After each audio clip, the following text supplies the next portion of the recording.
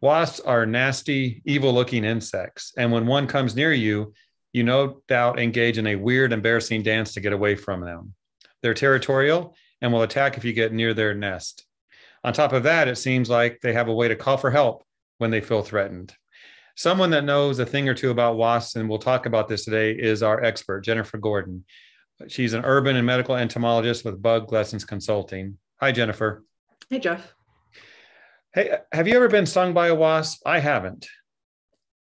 Uh, yeah, I've had a, a, couple experiences stung by a wasp. Um, you know, I was just thinking about when I was younger. You know, I think I was in my teens or 20s. I was collecting insects with a group, and our TA was walking, and I'm not sure what he walked over, but he really aggravated a nest, and, and they came out, and I got a couple of stings that time.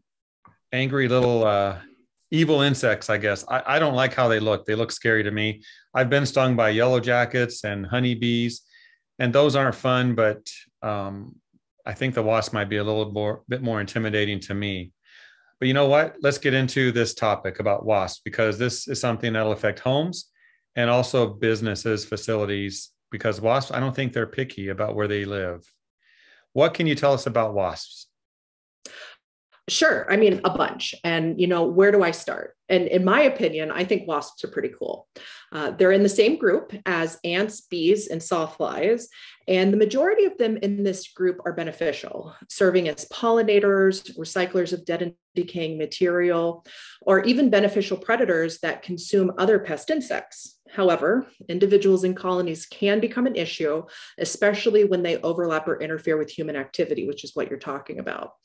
You know, additionally, many ants, bees, and wasps have specialized body parts that sting and inject venom that they can use to defend themselves and the nests. And even though these stings are rarely life threatening, they can be very painful and pose a public health threat to humans and animals, especially if someone has an allergy.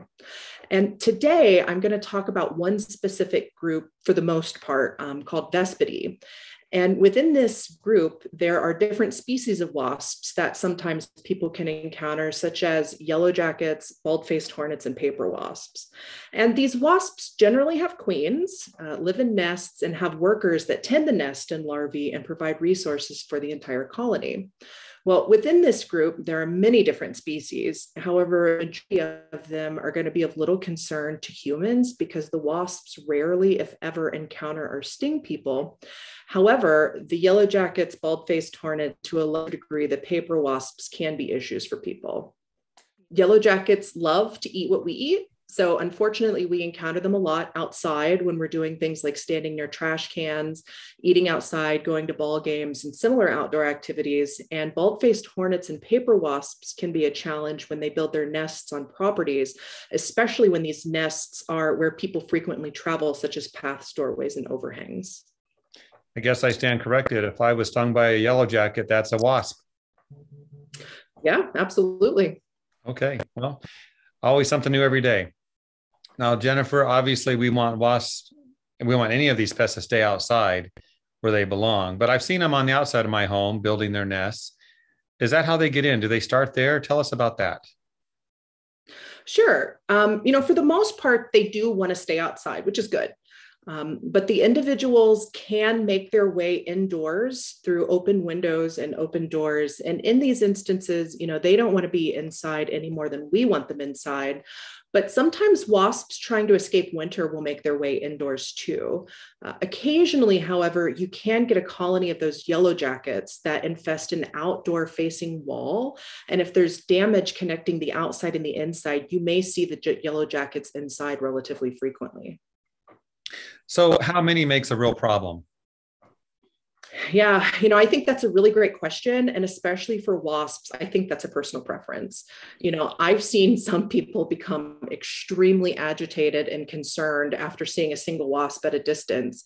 And, you know, I personally don't like seeing several yellow jackets around my food.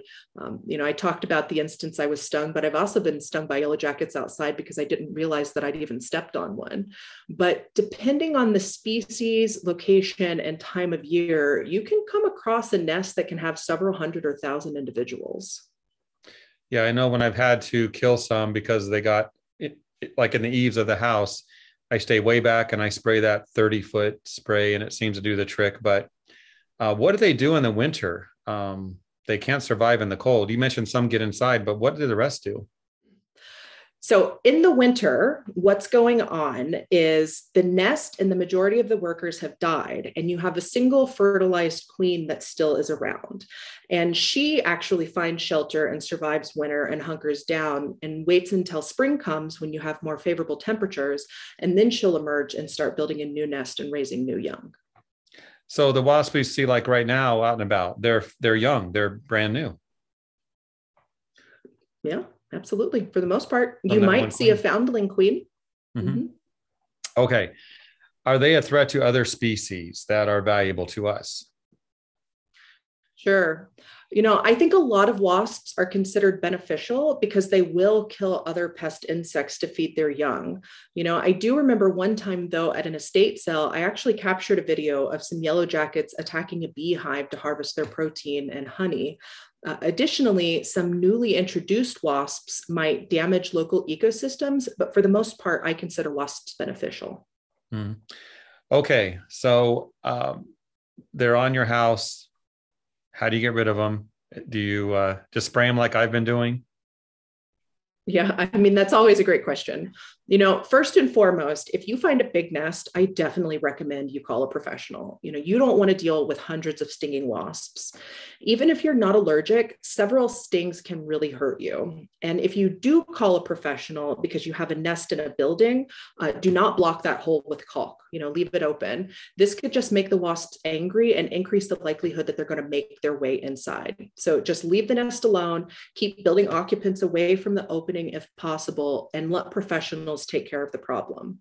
If it's a small nest though, or you feel comfortable around wasps, you know, I would recommend purchasing an insecticide product labeled for hot wasp and hornet removal.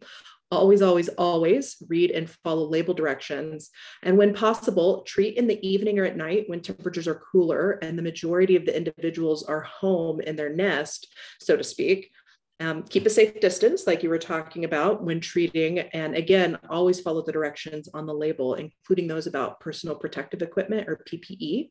You may even consider wearing a beekeeping suit if you happen to have it. Once you've done that, give the treatment a couple of days and then clean up the nest if possible. If a nest is left behind with a bunch of dead individuals, you can actually have secondary pest infestations. So, really cleaning up and removing the leftover nest after treatment is very important. Well, maybe I'll buy a beekeeping suit because I don't have one and I don't know anyone that does, but uh, definitely would protect you. Last question, Jennifer. Let's talk about the when you get stung. Um, besides a nasty sting and the pain, how dangerous is that? And is there any public health concern? Sure. So the wasps we're talking about today are beneficial and not known to spread any diseases that I'm aware of, which is great. However, people can become sensitized to stings and have very severe allergic reactions. And even people who are not considered allergic can still get painful welts and have reactions if they're stung. And then, you know, whenever skin is punctured, there's sometimes a possibility of getting secondary skin infections. You know, I consider wasps friends, not foes, but when they build their nest close to people, they can become a problem. And like always, if you ever have any questions about those or any other insects, don't hesitate to reach out. I'm here to help. All right, Jennifer, thank you for the lesson on wasps. And now I know I've been stung by one, but only one, I think. So thank you.